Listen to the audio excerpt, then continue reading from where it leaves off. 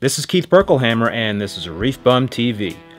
Limited edition corals generate a lot of buzz when released, and the Tyree Red Dragon was at the top of the limited edition hit list a few years ago.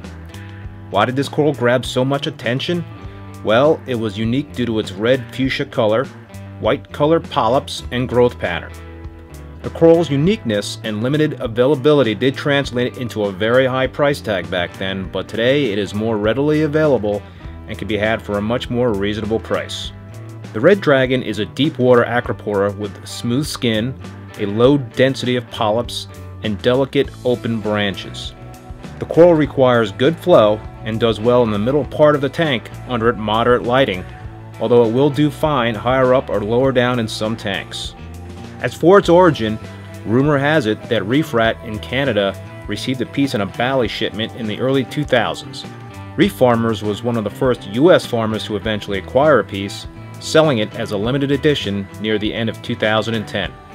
Different varieties of this coral have popped up over the years, including Joe's Golden Dragon Acropora from Joe Knows Reefs. This version has a strong pink magenta color with polyps that turn bright yellow under actinic lighting.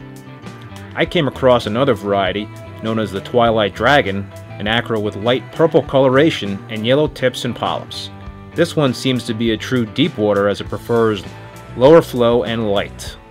So the next time you are thinking about adding a new frag, think hard about adding a dragon, a must-have for any serious SPS collector. For more information on some of my favorite SPS corals, please peruse my SPS deep dive features on reefbum.com by clicking on this link. Just a quick reminder that you can view my live HD webcam on reefbum.com. Use the Reefbum TV nav button to get there and to visit my HD video page.